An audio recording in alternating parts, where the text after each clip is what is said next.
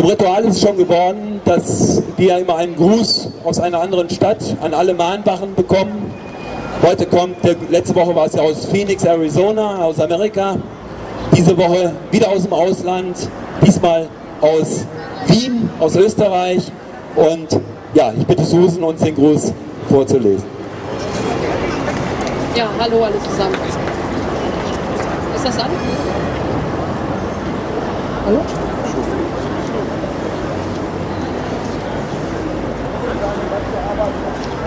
Hört ihr mich?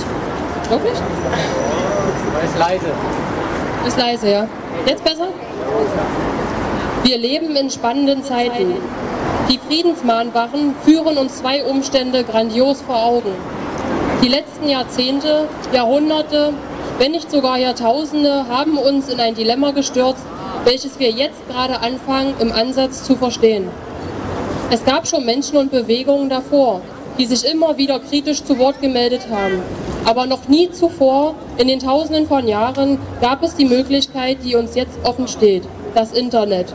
Wodurch die Vernetzung von Gleichgesinnten durch ein paar Knopfdrücke gelingt, ist eine dieser gewaltigen Möglichkeiten, die letzten Endes auch zur Verbreitung von Ideen genutzt werden kann.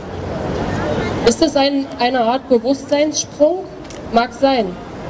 Doch der sich allmählich vollziehende globale Wandel gelingt in erster Linie durch die Vernetzung im World Wide Web. Die Friedensmahnwachen haben sich aus dem Internet in die Realität erhoben. Lars Mehrholz hat das Ventil geöffnet und dabei den richtigen Ton erwischt. All die Menschen, die dadurch angefangen haben zu wachsen und sich zu entwickeln, streben einen fundamentalen Wandel in unserer Gesellschaft an. All diese Menschen aus den unterschiedlichsten gesellschaftlichen Schichten stellen die Basis für diesen wichtigen Wandel dar. Das Ziel, Frieden und Freiheit und Gerechtigkeit für alle Menschen, alle Völker und alle Nationen dieser Erde. Die Befriedung der Erde selbst, das eint uns alle. Und auch wenn der Weg dorthin nicht für alle derselbe sein mag, so sollten wir doch einen Weg suchen, der breit genug ist für die meisten von uns, selbst wenn wir in der Kolonne langsamer vorankommen. Denn es wird ohnehin immer die Speer unter uns geben, die immer wieder nach vorne preschen, um zu sehen, was wir noch nicht sehen können, um uns dadurch die nächsten Schritte zu sichern. Der Gruß aus Wien soll ein Appell sein, dass diese Bewegung sich wieder ihrer Wurzel besinnt Vielfältigkeit und Meinungsfreiheit gehören dazu. Der Gruß aus Wien soll ein Appell sein für mehr Vertrauen.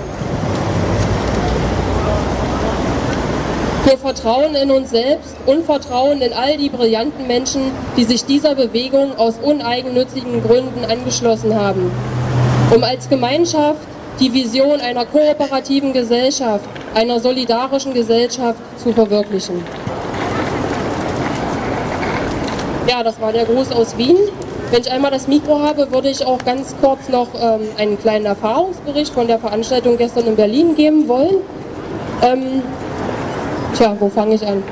Also im Großen und Ganzen bin ich auch der Meinung, dass diese Veranstaltung wichtig war, ähm, da ich mir gut vorstellen kann, dass es auch ähm, unter den ganzen Demonstranten für Palästina ähm, Dummköpfe gibt, wie es überall gibt, die ähm, nicht differenziert denken können und die, ähm, ja, die einfach gegen alle Juden generell anfangen zu wettern, habe ich auch schon im Internet gelesen. Äh, jetzt fangen die scheiß Juden wieder an, die Welt an sich zu reißen. Wenn man sowas liest, kann man natürlich selbstverständlich nur den Kopf schütteln und sowas gehört auch verurteilt, auch öffentlich. Ähm, es ist also wichtig, dass ähm, die Leute auf die Straße gehen und sich dagegen positionieren. Da bin ich völlig der gleichen Meinung.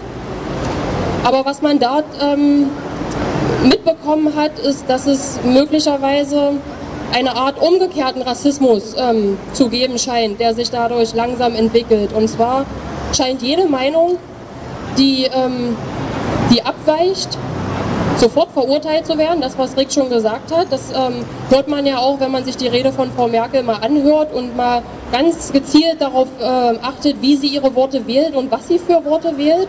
Da werden alle Leute, die, ähm, die der Meinung sind, sie müssten sich aus, aus menschlichen Gründen mit den Opfern im Gazastreifen solidarisieren, dass alle diese Menschen als Antisemiten und als Nazis äh, beschimpft werden und dass sie auch sagt, dass das ja äh, in erster Linie alles muslimische ähm, Demonstranten seien, zeigt uns ja auch wieder, dass da auch gezielt wieder auf eine andere Minderheit äh, gezeigt wird. Das ist ganz gefährlich und äh, wir waren da mit, ähm, mit ganz neutralen Schildern. Wir haben uns einfach gegen Krieg in jeglicher Form ausgesprochen.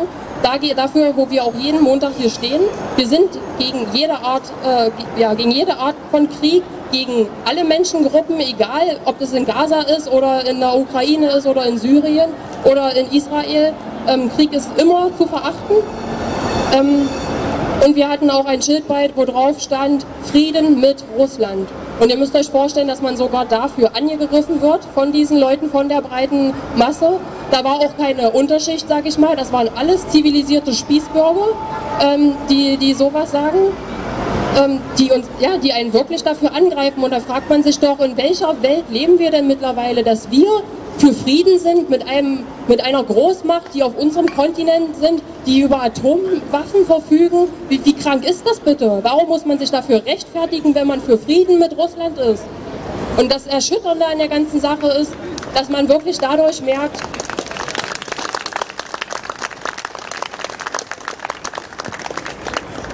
man merkt dadurch, dass die Gehirnwäsche der Medien, die ähm, die Verdrehung von Tatsachen oder alleine schon äh, das Weglassen wichtiger Tatsachen, die zu dem Ganzen dazugehören würden, dass diese Gehirnwäsche in einer großen, breiten Masse ähm, grandios funktioniert. funktioniert. Ich habe das neulich auch mit einem Telefonat, bei einem Telefonat mit einer Bekannten feststellen können. Die Leute sagen wirklich, Putin ist gefährlich, Putin verfolgt dieselben Ziele wie Hitler damals, Putin gehört vernichtet. Und Putin ähm, soll zur Rechenschaft gezogen werden für ähm, den Abschuss der Maschine, für, wo es bis heute keine Beweise dafür gibt, dass das wirklich von russischem Boden ähm, stattgefunden hat oder dass Russland die pro-russischen Separatisten mit der Technik ausgestattet hat, äh, die, die sowas möglich machen. Dafür gibt es keine Beweise und komischerweise ähm, wird, wird es ja auch einfach totgeschwiegen. Ja? Es wird ja auch nicht aufgeklärt, nicht weiter. Ähm, und wenn man, wenn man diesen Abschuss ähm, als da, wenn, man, wenn man sieht, dass dieser Abschuss als Rechtfertigung für die ganzen Sanktionen genommen wird, dann kann man wirklich nur mit den, mit den Worten von Sarah Wagenknecht äh, sprechen, die vor einigen Monaten gesagt hat, jeder, der darüber fantasiert, auf europäischem Boden in heutiger Zeit einen Krieg führen zu wollen, der ist krank im Kopf. Und er gehört in die Schranken gewiesen und das können wir uns nicht weiter bieten lassen. Und deswegen hoffe ich auch sehr, dass am 3. Oktober ganz, ganz viele Friedensaktivisten die Chance ergreifen und unserer Regierung sagen, dass wir mit dieser Kriegspolitik nicht einverstanden sind.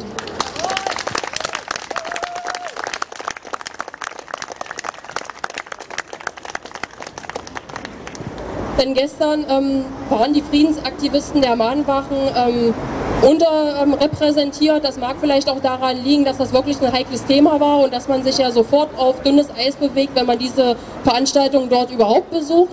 Aber am 3.10. ist Tag der deutschen Einheit, sollte ja Tag der Wahrheit sein, äh, wie wir schon so schön gesagt haben. Und äh, das sollten wir uns wirklich nicht nehmen lassen. Ähm, also ich bin auch dankbar darüber, dass die Aktivisten, die auch aus Berlin da waren, dass alle sich da quasi eigentlich einig waren, dass diese Veranstaltung an sich nicht gestört wird. Die konnte von vorne bis hinten ähm, friedlich durchlaufen. Auch die Rede von Angela Merkel wurde nicht gestört. Da haben alle Respekt äh, gezeigt und äh, wollten die jüdische Gemeinschaft auch nicht verprellen. Ähm, der gerechtfertigte ähm, Sprachchor, dass unsere Politiker Kriegstreiber sind, ähm, fand auch erst ähm, in den letzten Minuten statt, als die Veranstaltung eigentlich schon ähm, vorbei war und sich alle Politiker nochmal zusammen auf der Bühne zusammengestellt haben, um ein Foto zu machen. Ähm, Jedenfalls war die, war die Veranstaltung vorbei, sodass man uns eigentlich auch nicht vorwerfen könnte, wir hätten die, äh, die Bewegung unterwandert oder die Demonstration gestört. Ja, ich habe so viele Gedanken im Kopf. Äh, ich bin erschüttert darüber, wie viel, wie viel Feindlichkeit uns da als normale Friedensaktivisten entgegengebracht wurde. Man hat sogar aus den Reihen gehört, guck mal da, da sind die Nazis von den Mahnwachen. Sowas muss man sich da anhören, wenn man einfach für die Rechte aller Menschen ist und nicht nur für eine besondere Religionsgruppe. Das steht außer Frage. Natürlich sind wir auch für die Menschenrechte ähm, der Juden in Deutschland und wir sind auch dagegen, dass man die dafür verantwortlich macht, was in Israel äh, da an Politik geführt wird. Das ist doch überhaupt keine Frage. Aber ähm, dass man sich da anfeinden lassen muss, einfach nur, weil man sagt, wir sind gegen Waffenlieferungen und wir sind für Krieg, Das äh, hat das Bild gezeigt, äh, was unsere Gesellschaft mittlerweile für eine Meinung hat und wie die Gehirnwäsche durch die Medien funktioniert. Und ich bin, ähm, deswegen sollten wir hier wirklich niemals weggehen, bis sich das geändert hat, bis die Medien wieder vernünftig berichten und die Wahrheit schreiben und diese Gehirnwäsche der Menschen aufhört, weil so kann das doch nicht weitergehen. Wo wollen wir denn hin? Und dann gebe ich das Mikro.